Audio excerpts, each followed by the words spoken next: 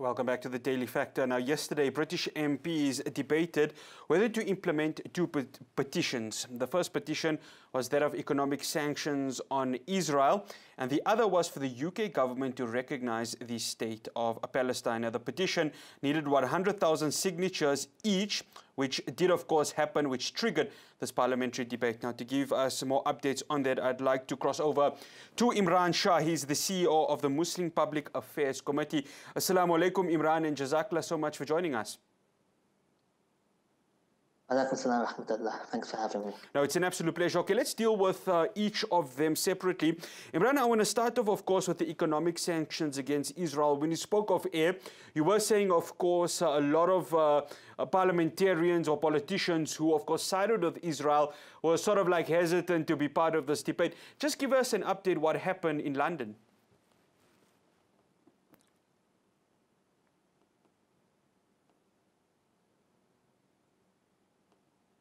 Uh, Imran, can you hear me?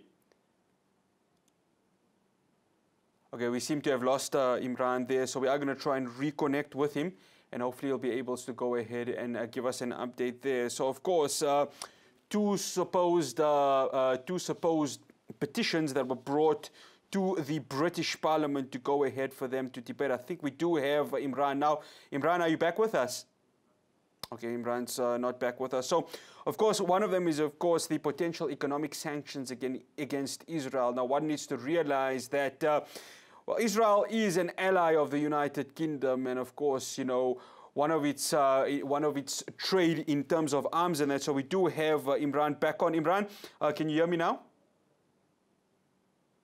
Imran.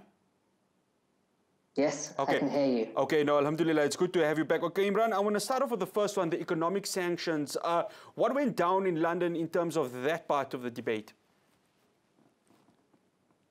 Yeah, so, I mean, obviously you have some pro-Israel Zionist MPs, uh, and they were essentially giving the same lines and the same narratives that we've seen all the time. But what was quite remarkable is that you had other MPs that kind of call themselves friends of Israel mm. also say that they are sick and tired of the way Israel is behaving, especially of the Israeli um, uh, illegal colonies. And we want to see sanctions on at least the illegal uh, business that Israel is doing.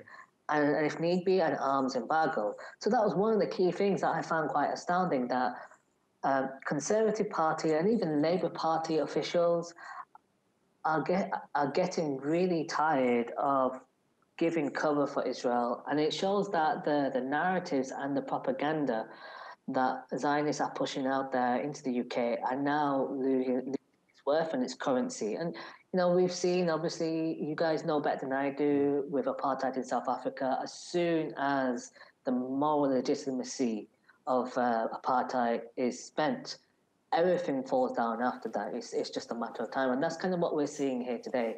On top of that, we did see uh, a number of MPs that were outspoken, completely and utterly outspoken in saying that we need Israel is the main root issue, and the apartheid, the occupation, and the constant cover for Israel um, violating international law. So um, this, uh, even though it doesn't have much legal consequence, this was the equivalent of us going out there uh, um, uh, on protesting and speaking and mobilizing and making our voice heard. This was the parliamentary equivalent of that. And the normalization of BDS uh, and the support of the Palestinians and their demands is in spaces like this really legitimizes and, and normalizes the struggle overall. So it's a very positive step. And just to kind of give an idea of just how historical this is.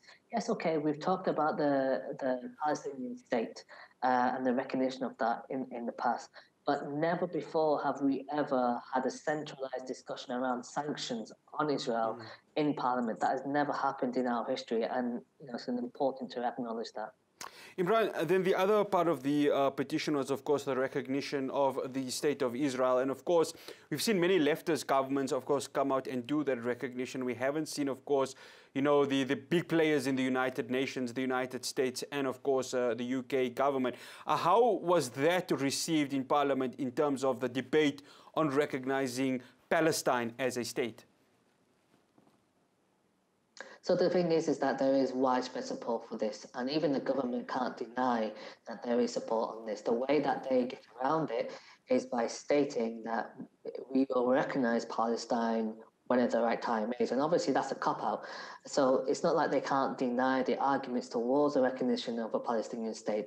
They're just falling short of actually doing it. Mm. And so this is where I think a change of government perhaps will make the difference because you know, we, we have a, um, a by election in a particular constituency, uh, Batley and Spen the Muslim vote are deciding who is actually going to get in the power, and the central issue is Palestine. And I think now, like what we've seen with Sheikh Jarrah, East Jerusalem, you know, that is still happening on the ground. A number of MPs said that the expansion of colonies of of uh, in the West Bank is still happening, and in East Jerusalem is still happening. It's not just the fact that Netanyahu has uh, now been removed hasn't changed mm. the facts on the ground at all. Um, all of this is really a, showing a watershed moment in the UK, and I really do believe that the next election, in so many different constituencies, if not across the board, Palestine will be a central election issue. One final question, uh, Imran. If one of the two petitions, how confident are you that one of them will at least have success in the UK Parliament? So, I mean, uh, just to be clear, this doesn't lead to any legislative um, process. What this does is that enables voices or views to be debated inside Parliament. So it is purely just a debate, uh, and unfortunately, doesn't allow a citizen to have that much power in terms of legislation um, uh, or like uh, shaping the law. But like what it does is that it means that we can mobilize politicians and normalize the conversation around BDS. And again, the more that is normalized, the less uh, Zionists have to uh, to harass, to demonize, to to um, uh, to essentially trouble pro-Palestinian activists. And after we've seen the removal of Corbyn, uh, after we've seen the purge of Labour uh, pro-Palestinian voices, what this has done is completely mm. so it enables us to have a lot of political leverage in which we uh, and other Muslim organizations, pro-Palestinian organizations, can essentially escalate from.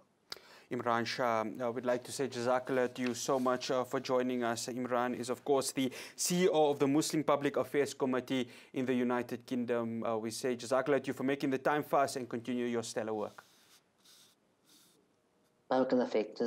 Thank you for having me. Oh, it's an absolute pleasure. Well, that's all we have from our international updates. After the break, we'll be crossing to our community news. Stay tuned.